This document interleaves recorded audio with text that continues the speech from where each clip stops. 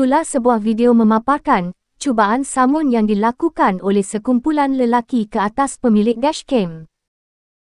Menerusi video yang dikongsikan dapat dilihat, pemilik dashcam baru sahaja selesai mengisi minyak di Petronas Lebuh Raya Kesas. Sebaik sahaja keluar daripada stesen minyak tersebut, tiba-tiba sahaja kelihatan sebuah kereta berwarna hitam dan sebuah motosikal memberhentikan kenderaan mereka di hadapan kenderaan mangsa. Mangsa yang tidak mengesyaki apa-apa hanya menunggu. Tidak lama kemudian salah seorang daripada suspek cuba menghampiri mangsa sambil membawa senjata. Walau bagaimanapun, mangsa mengambil tindakan pantas dengan segera memecut laju untuk menyelamatkan diri.